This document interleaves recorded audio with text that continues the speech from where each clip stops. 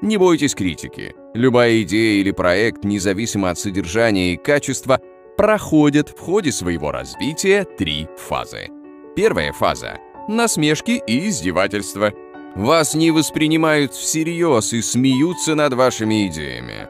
Вторая фаза — критика. Насмешки прекратились, так как уже появились первые успехи. Теперь вместо смеха появляется критика. Эту фазу вполне можно рассматривать как прогресс, потому что критику еще надо заслужить. Третья фаза — признание. Если вы проявили выдержку и остались верны своей идее, то прекращается и критика. Ее место занимает признание. Хотя критиканы никуда не делись, они молчат, так как остались в меньшинстве. Лишь вы сами в состоянии решить, насколько справедлива критика.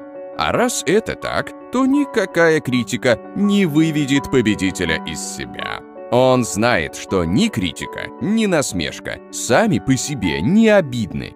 Значение имеет только наше собственное отношение к ним. Цель оказывается намного важнее, чем мнение посторонних людей.